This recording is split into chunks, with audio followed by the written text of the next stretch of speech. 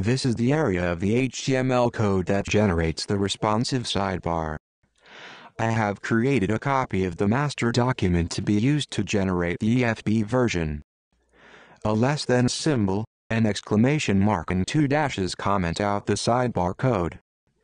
At the end of the sidebar code a greater than symbol is used to signify the end of the comment.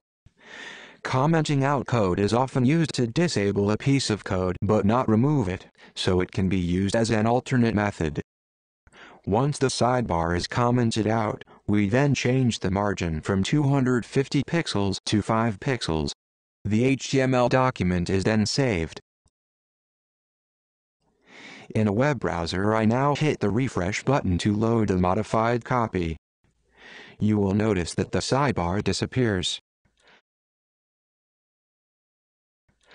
I then use the print function to export the document as a PDF.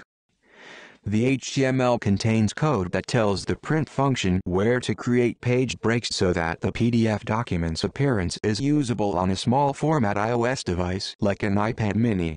The PDF now functions with internal links.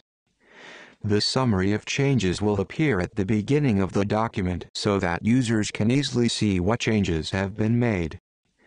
The summary of changes is hyperlinked so that users can navigate to changes with a click or a tap on the screen. New or changed content is marked in red and underlined.